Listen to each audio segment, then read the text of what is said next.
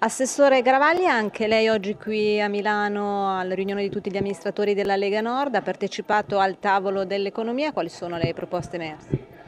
Ma tante, però quelle più importanti diciamo un intervento eh, shock, cioè arrivare ad azzerare i ticket in sanità, si può fare, lo vogliamo fare. Poi a sostegno delle imprese diverse iniziative per favorire gli investimenti degli enti locali, piuttosto che intervenire in aiuto ai confidi di secondo livello, alle controgaranzie, insomma diversi interventi, però diciamo la cosa più importante a sostegno di famiglie e, in generale di tutto il sistema è questo. In Lombardia sarà più facile grazie all'applicazione dei costi standard? In Lombardia ma non solo, in tutte le regioni del nord eh, proprio l'applicazione dei costi standard consente di fare meglio con le stesse risorse e quindi eh, ce la possiamo, ce la dobbiamo fare, lo vogliamo fare. Ovviamente non si potrebbe eh, con la normativa vigente, ma chi se ne frega, noi lo facciamo.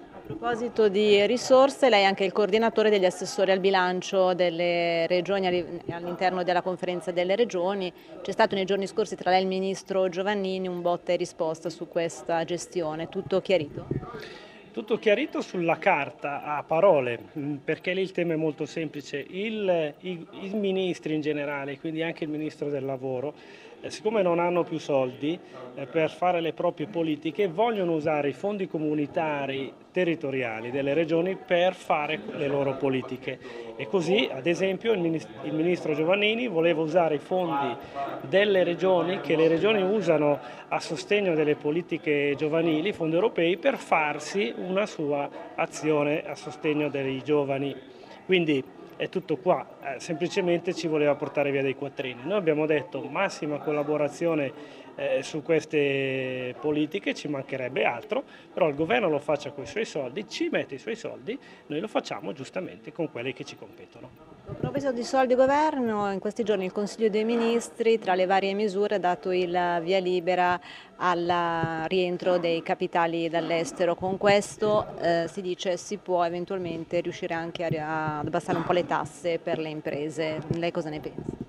Ma vedremo il testo, di fatto è condono, è solo che eh, quando l'abbiamo fatto noi ci hanno messo in croce perché abbiamo fatto un condono. Adesso che lo fa il governo delle larghe intese eh, lo chiamano rientro dei capitali. Così. Dicono che non ce l'hanno animato in eh, questo caso, quindi non è uno scudo come replica. Eh, se mi tolgono le sanzioni e le sovrattasse mi fanno un condono. Un'ultima questione è la riduzione dei costi della politica. Tra l'altro nel bilancio che è stato approvato a fine d'anno è passato anche un suo emendamento per ridurre le spese, del, anche il numero di personali di 200 unità eh, in Regione Lombardia. C'è stato anche un tavolo sulla riduzione dei costi della politica, a che punto siamo? Beh, la Lombardia, già oggi parlo da lombardo, è la regione che costa in assoluto meno. Eh, considerando sempre il presupposto che la democrazia sia un costo. Certo, quando c'era Mussolini costava meno, ce n'era uno solo, ma non è andata poi tanto bene. Partendo dal presupposto che la democrazia sia un costo, è giusto che questi costi siano il più basso possibile.